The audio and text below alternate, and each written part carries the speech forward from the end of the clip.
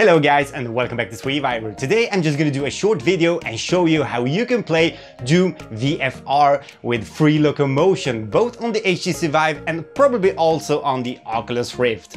Guys, yesterday I found out a very simple way to actually add some free locomotion into the game.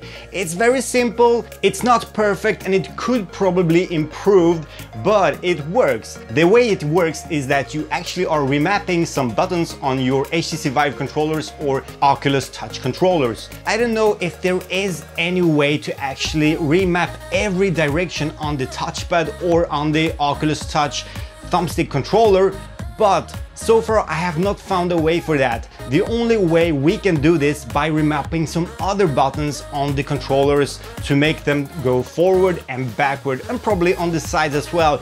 But I found out that actually forward and backwards are the only directions we actually need. So, well guys, it works. I have been playing Doom VFR for a while and I tested it with the free locomotion and I can tell you that it actually works great.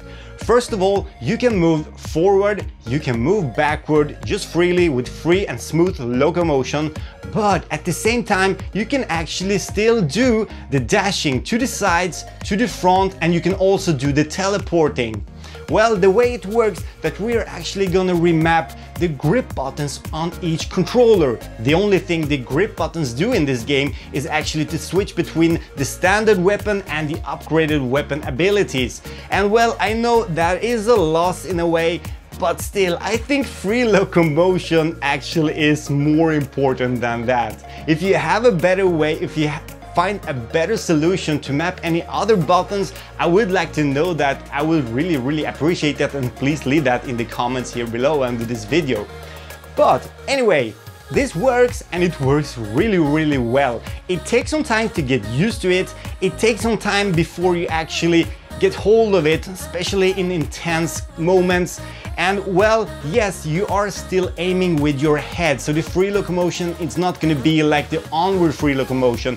You're still gonna use the head to actually choose the direction of where you were walking. So in the beginning, it could be a little bit confusing and a little bit awkward, but after a while, I promise you, when you have played with this for like 10 or 15 minutes, you're gonna get used to it and you're gonna love it. You will not want to teleport or dash anymore.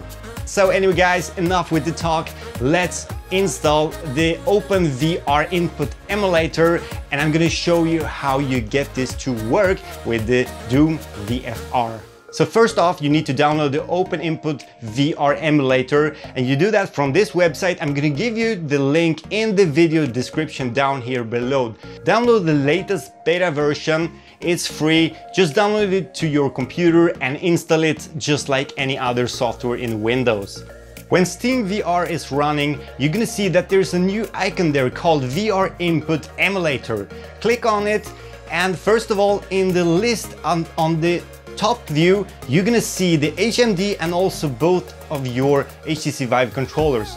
First of all, we're gonna start off by creating a profile for this key remapping. And in this case, I'm just gonna call it Doom. It doesn't matter what you call it, but the most important thing is that you tick in the option include input remapping because it's very important, otherwise it will not be saved into the profile because input remapping is what we are gonna do.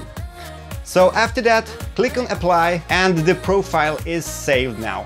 Let's get back to the list with the devices. We have the HMD and we have the two controllers. You don't still know which one of the controllers is left or right, but if you click on the identify button, the controller is gonna vibrate. So in this case, this is my right controller. So let's jump into input remapping. Now we're gonna remap the grip button to the keyboard key W and that's of course the key for forward in mo most first-person shooters. So let's go into the binding type and choose keyboard and in the key scroll down with your HTC Vive touchpad on your controller to the letter W. When it's done, just hit on the save button and save again in the next window. So now the right controller grip button is mapped to the letter W on our keyboard and that is forward.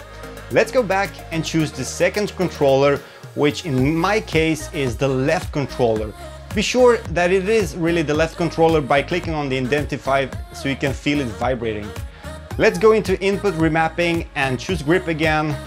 Choose the no remapping tab, choose again, and then choose keyboard, just like we did before. Now the key that we're gonna need is S of course, and that is the key that is used in Doom VFR for going back.